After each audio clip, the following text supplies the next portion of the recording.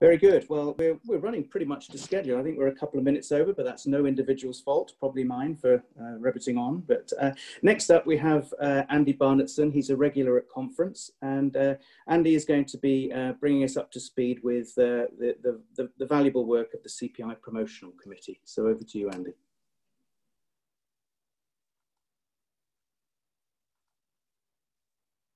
Thank you, Tim.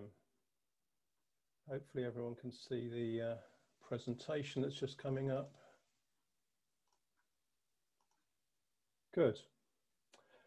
Uh, so, good morning everyone. Uh, thank you for the invitation to this slightly unusual format, but delighted to be here to tell you something about the promotional work.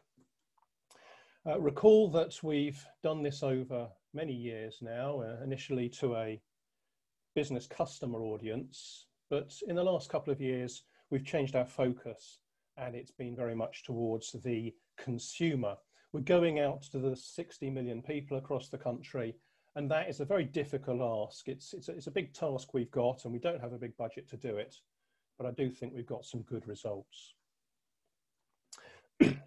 so, taking the quarters this year one by one, we started in Q1 with pizza boxes, and it was topical because we were hearing a lot of voices out there saying, well, you can't recycle a pizza box. So we thought we'd grab the chance to say, actually, yes, you can. And you can see at the top of the screen there, the special box we had made up. My, thanks to the company that made that. And we put those boxes out to 20 social media influencers and we asked them to post. And pizza's often the top of everyone's list. Uh, but uh, particularly topical, as I say, because we were starting to hear these you cannot recycle messages. So we, we picked up that and used pizza boxes as an inroad to actually cardboard always recyclable. So we went out with those posts, 20 social media posts, 214,000. And the great advantage of social media, of course, you know who's actually engaging. You know when someone likes or, or reshares your, your post. So a good engagement there. And we went on also in quarter one to a youth audience. And we found that the opportunity here was to, uh, to go out to a, a demographic uh, that uh, wouldn't have seen our messages normally.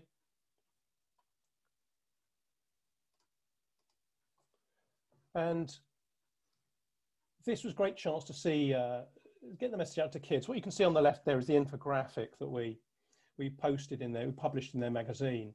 And we had a comparison of different materials, cardboard, recyclable, renewable.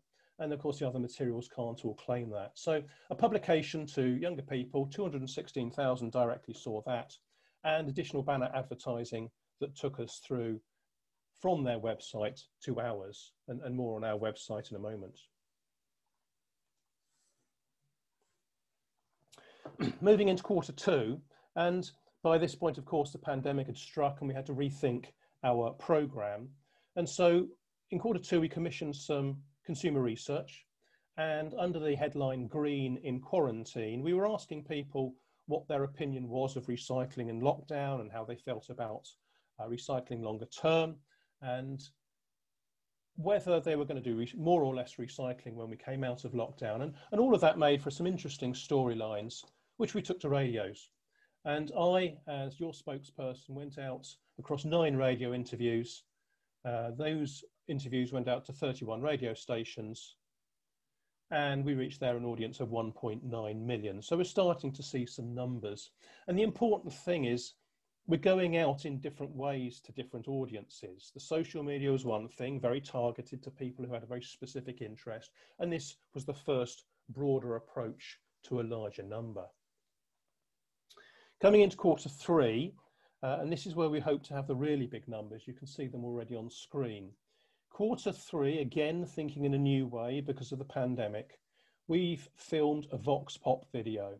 Our agency has stopped people in the streets. How do you feel about sustainability in shopping? And we backed that up with some consumer research on how people feel about the cost of being green and a lot of people say it's still more expensive to be green, and we, we're, we're, we're, looking for the cheaper option. We need green to be cheaper. And we put the, the consumer research together with a Vox Pop video, and we've been very pleased with these results. picked up, as you can see, by the Daily Mirror online, the Sun online, the Independent, and across those three, we've got out to 146 million.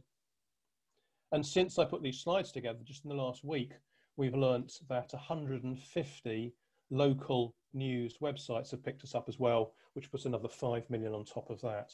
So the VoxPop video alone has taken us out to about 150 million, give or take, uh, in this quarter three. But that's not it, because quarter three has also included engagement with an online artist called Paper Boyo. You can see the image there. Check him out on Instagram. Paper Boyo is famous for his card silhouettes, and he marries them up with famous landmarks in a very humorous way. And he's got 480,000 followers on Instagram. So we engaged him, and you can see the, the picture there, the image of cleaning up the beach. There was another one cleaning up the countryside. And this picture, first of all, became one of his most popular ever with 14,000 likes. So that's 14,000 who've read the messages. You can almost see them down the right side of the screen. 14,000 people who've directly said, we, we like your post. And as you can also see, picked up in the Evening Standard to an audience of 26 million. So we've got some big numbers. It's not just about the numbers, it's about sometimes targeting carefully, but it is sometimes about the big numbers. And we've been very pleased with all of that. Throughout the year, we've had social media. We've been posting on Instagram and Twitter, not with our own profiles, rather with uh, what's called dark posting, where we use the, the, the, software to target people who have an interest and we appear on their timelines. But we've had all sorts of images across Instagram and Twitter. And we've also had a series of blog posts on the website. If you haven't been to our website, please do. Very simple, very easy, cardboard.org.uk. You see it there in the corner of the screen. And across the year now, we've reached 825,000 people on the social media. Engagements 168,000. For an early pro, early in a program, without a huge budget, that's not bad going. We're, we're pleased with the results. So there's your snapshot. That's what we've been doing. Quarter four activity continues. Um, I don't have time to talk much about that today, but we're probably going to identify some sort of a sustainability champion and have a cardboard bust made of him or her. Uh, you'll hear more about that in time.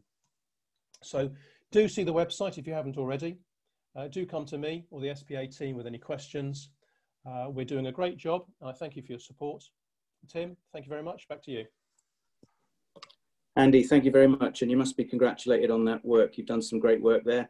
Uh, just to remind SPA members, we do actually help fund this activity. And uh, personally, I think you're doing a, a, great job. And I'm sure the members would, uh, would want to thank you for, for, for the great work that you're doing, Andy. Well done. Excellent. Moving on.